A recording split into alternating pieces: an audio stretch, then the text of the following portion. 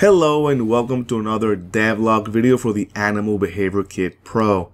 Today's going to be a fairly short video. I want to give you guys a quick update on what I've been working on and everything that is left for the 1.4 update. So if I go back and show you guys my Trello board here, you can see that we have a lot of features that are considered complete on the Dawn swim lane. There's still a lot of features that are still considered work in progress is quite a long list. However, a lot of these features I consider to be kind of code complete. I want to do a final test before I move them over. Things that I've shown like uh, in-place rotation, HP regeneration after disengage, etc. I've been working a lot on this epic here, improving the attack code, which includes a new feature, which is ranged damage. That's going to be shown in a separate video. Today I want to uh, focus on these top two here. I wanted to replace Manny from UE4 to UE5. Obviously, that's just an update. And this epic called Improve Migration. So if I click here, there are three main things that I wanted to tackle to make migration easier for you guys when you're upgrading. First, I want to remove that custom object channel. There's been a lot of issues, a lot of uh, migration uh, problems that come with having a custom channel. Unreal Engine, unfortunately, is not the best at migrating those channels, and many times those blueprints get messed up. So now they're using a common channel, and that should basically remove that issue. I'm also moving a lot of the player controls to its own component, which is what you see here. I'll show you that in a minute and I'm using the new input system which means that now for migration you don't have to copy the input settings from one project to the other. So let's go ahead and show you what that looks like here. So if I click play you see that now we have the new mannequin. And all of the other mannequins that are from UE4 including all the animations the shooting all that is gone. Now we have the new mannequin and of course all the functionality is still there you can see that I can aim, but I no longer have all of those UE4 animations. And if I open the player character here and I go to the event graph, you see that all we have here is the default movement code and just one extra thing that is optional, which is the camera zoom, which is what allows me to zoom in and out. That's not part of the default character code, but I wanted to have it there.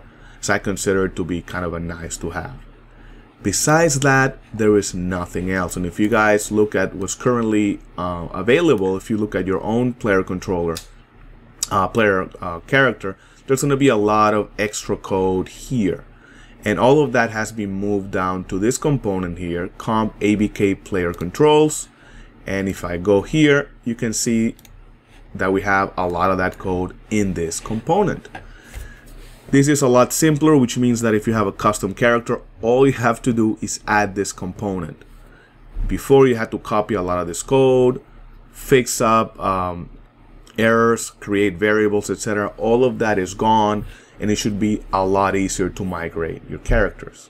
And also I am using a uh, enhanced input. You see there's a new folder called input and here you have the ABK player input uh, mappings and you can see that we have all of those mappings right here and they're going to be migrating because they're actual files. Uh, you can see here all the actions. They're actually migrated through the regular migration process. If I go to project settings and I click on input you can see that we have no input action mappings at all.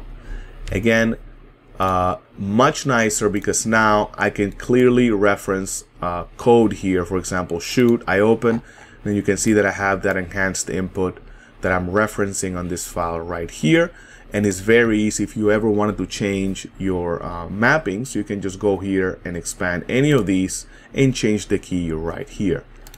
So overall, migration when you're uh, downloading the 1.4 update should be a lot easier. I was looking at the migration guide and more than half of those steps are actually cut. Uh, so that should be, in my opinion, a, a, pretty big boon to the update. It was something that I kind of thought um, a few weeks ago and I figured this is important enough that I wanted to include it in this update. So that's pretty much it. I wanted to show you guys that. It should be a lot easier to migrate when the update comes the next devlog will show you guys the improvements to the attack code. We are getting closer, so I appreciate your patience on that. If you have any comments, make sure you leave them on the video below or join our Discord. And if you have any suggestions for features or anything else, let me know. Thank you guys so much, and I'll talk to you in the next video.